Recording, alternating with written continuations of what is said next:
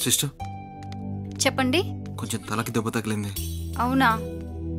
మీ పేరేంటి? దేవకి. నాతో రండి. పద. డాక్టర్ గారు ఇదిగోండి.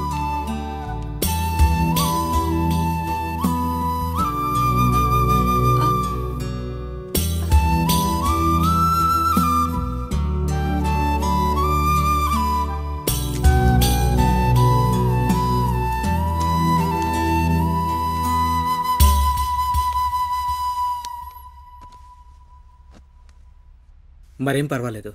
త్రీ డేస్లో తగ్గిపోతుంది. కొన్ని మెడిసిన్స్ రాసిస్తాను ఆ వాడి రెస్ట్ తీసుకుంటే సరిపోతుంది. సరే డాక్టర్. ఇక మీరు వెళ్ళొచ్చు.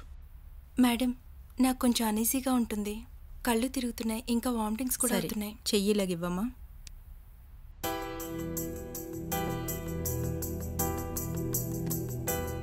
ఎప్పటి నుంచి రావట్లేదు? టూ మంత్స్ నుంచి డాక్టర్. Two months. నువ్వు ప్రెగ్నెంట్ అమ్మా. నిజంగానా? హా,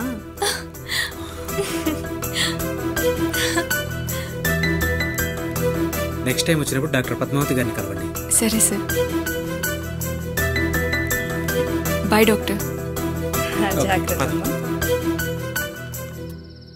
అమ్మా. అమ్మా. దేవకి? అమ్మా. అమ్మ దేవకి? అమ్మా. దేవకి ఎంత కాలమైందమ్మా ఆ మాట విని? పక్క పక్కనే ఉన్న కన్న కూతుని తృప్తిగా చూసుకునే అదృష్టం లేదు. ఏం పాపం చేశానే? అమ్మా నాన్న. బయటికెళ్ళరమ్మా. అమ్మా నేను తల్లిని కాబోతున్నానమ్మా. ఎంత తీయటి వార్త చెప్పావమ్మా. వసుంధర ఎవరి దరిద్రాన్ని లోపలికి పిలిచింది? నేను బతుకున్నా అనుకున్నావా లేకపోతే చచ్చాను అనుకున్నావా ఎంతైనా మన కూతురే కదా బంధాలు కలపాలని చూసామంటే భార్యవని కూడా చూడను.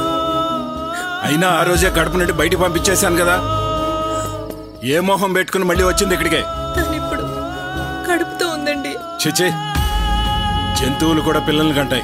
అదేమన్నా గొప్ప విషయమా? పరువుతో బతికే జీవితం మనుషులది. ముందు దాన్ని బయటికి పంపించాయి. లేకపోతే నేనే మెడబెట్టి బయటికి గెంటాల్సి వస్తుంది. నాన్న నేను చెప్పేది ఛీ.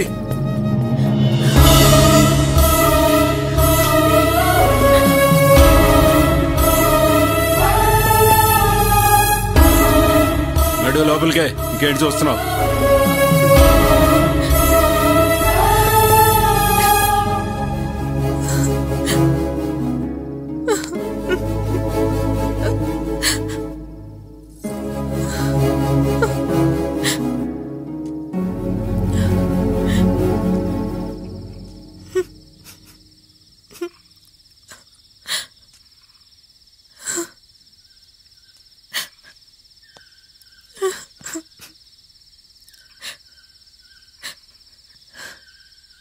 దేవకి?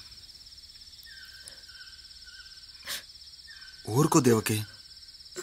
సంతోషమైన దుఃఖమైనా పంచుకోవడానికి మనకు మనం తప్ప ఇంకెవరున్నారు?